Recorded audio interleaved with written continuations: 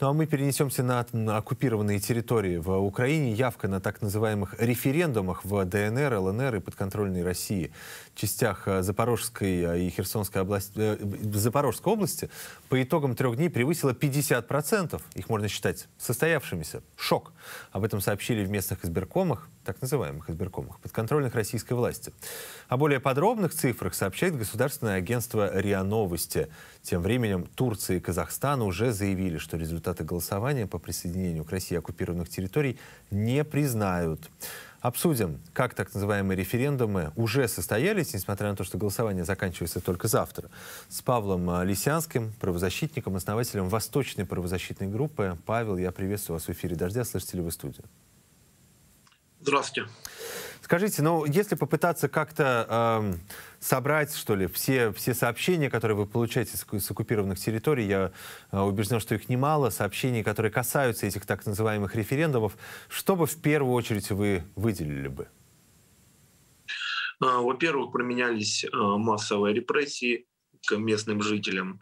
Нам известно о задержании. Наши мониторы, которые работают на временно оккупированной территории, зафиксировали в городе Равенки на улице Капанели 38 задержана в доме, это город Равенки, э, временно оккупированная территория Луганской области. Задержано три человека, которым пришли домой, и они сопротивлялись, не хотели принимать участие в так называемых а, референдумах. Э, их забрали, их судьба нам пока неизвестна, но по сути там а, проводят разъяснительную беседу. Что дальше с этими людьми мы пока не знаем. Надеемся, что, возможно, их а, отпустят. Э, вот. А следующий момент в Дебальцево, улица Пролетарская, 66, также был задержан работник железнодорожного депо, который уклонялся от в участии так называемых референдумах. Следующий момент — это то, что так называемые называемые профсоюзы. На временно оккупированных территориях а, Луганской и Донецкой области есть федерации профсоюзы ЛНР, ДНР, и в том числе при поддержке профсоюза соцпроф Российской Федерации, заместитель председателя Олег Хакимов. Это, кстати, бывший депутат а, областного, Луганского областного совета от партии регионов еще до 2014 года. Сейчас он заместитель руководителя профсоюза соцпроф. Создали Федерации профсоюзов на временно оккупированной территории Запорожской и Херсонской областях. Вот эти профсоюзы заявили, в частности, на оккупированной территории Луганска и Донецка, что э, если работники, которые имеют бронь, там еще есть такие, которые не все а, мобилизованы, да, а, если они не примут участие в референдуме, а, то их а, попросту мобилизируют на следующий день. Uh-huh. Следующий момент то, что в местах лишения свободы также проходил этот а, псевдореферендум, о нем мало кто говорил, но а, некоторым заключенным угрожали с штрафным изолятором. Необходимо понимать, что на временно оккупированных территориях, в частности в Луганске и Донецке, создано, не создано, а функционирует 18 мест лишения свободы. И также хочу сказать вот по поводу явки, да, то есть наши аналитики проанализировали, пока только вот Луганскую область, смотрите, э, так называемое э, незаконное вооруженное формирование ЛНР, они декларируют, что проголосовало там чуть больше миллиона угу. человек. Чуть больше миллиона на, человек, да? Да, чуть больше миллиона человек.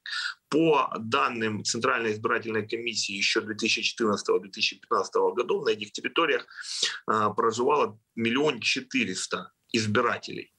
А, по данным Международной организации э, миграции, да, МОМ, а, в Украине сейчас 6,8 миллиона внутренне перемещенных лиц. По данным ООН, из Украины выезжало, а, ну, по состоянию, по-моему, на май, там, да, около 10 миллионов человек. А Российская Федерация заявила, что она а, эвакуировала, мы это называем депортировала, к, в Российскую Федерацию около, там, больше 2 миллионов, около 3 миллионов человек. По предварительным подсчетам на территории Луганской области просто нет миллиона человек, избирателей, именно избирателей. Поэтому э, в данный момент мы видим, что цифры даже очень грубо фальсифицируются, даже несмотря на вот э, данные в э, открытых источниках. И также э, хочу обратить внимание, что э, принимали участие в голосовании, это нам достоверно известно, к примеру, город Алчевск, туда были привлечены рабочие с Российской Федерации еще в начале апреля, да, они там приехали в э, мае, и они якобы должны были приехали для так называемого восстановления этих территорий. Так вот, они тоже принимали участие в э, псевдореферендумах. То есть граждане Российской Федерации, которые никогда не были местными жителями, тоже принимали там участие. Это все организовано вот, э, оккупационными администрациями ЛНР и ДНР и на временно оккупированных территориях э, Херсонской и Запорожской области. Если брать отдельно Запорожскую и Херсонскую область, то там э, похожие э, процессы также есть. А скажите, Павел, я прошу прощения, я вас перебью. Да. Вот, э, что касается Херсонской и Запорожской областей, есть ли информация э, у вас, может быть, вы ее получали от своих источников, что э, на оккупированных частях этих областей уже начиная там с середины конца недели, когда, очевидно, референдум будет будет э, значит, э, э, объявлен состоявшимися и с подавляющим перевесом, проголосовали за вступление в Российскую Федерацию и прочее, прочее. Есть ли у вас информация, что после этого там начнется а, эта самая мобилизация, которая сейчас объявлена в Российской Федерации, поскольку Российская Федерация будет считать эти территории частью себя, то там должна быть и мобилизация? Да, такая информация есть. Э, у нас в организации работают сотрудники, в том числе непосредственно с Херсонской и Запорожской областях, и такая информация есть. На сегодняшний день эм, нам уже известно, что с июня 2022 года собирались списки и уточнялись данные мужчин разными способами, там, через Промсвязьбанк, который там открылся, через э, выделение социальной помощи, уточнялись э, данные мужчин призывного возраста, и вот сразу ну, где-то через недельки две начнется вот эти процессы а, принудительной а, мобилизации. И на этих территориях это достоверно известно, так что мы давно уже говорим а, на ну, нашим источникам, да, в том числе и публично, о том, чтобы мужчины как можно быстрее просто оттуда выезжали, иначе просто у них потом не будет никакого выхода. А возможность выехать сейчас есть? Она остается?